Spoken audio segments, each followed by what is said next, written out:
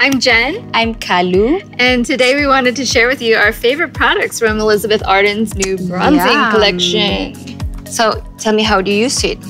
Well, there are four colors like this. So, my main way of using it is I use this little Yeah. oval brush. So just do that, and then I can put it on my cheekbones like this, or down the middle of my nose. Or you can just use the individual colors. You know, we could use this lighter one. And one little trick I like doing is tying it right there to the cupid's bow. Yeah, I love that trick. Makes actually. it pop. That's so pretty.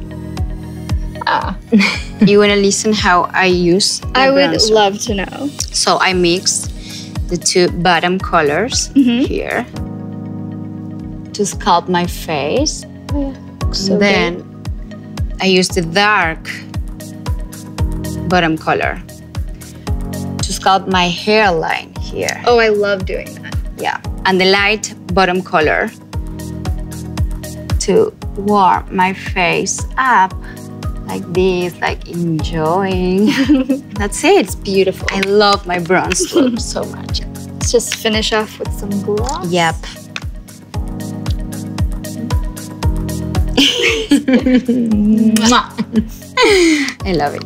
I guess we're done. Done.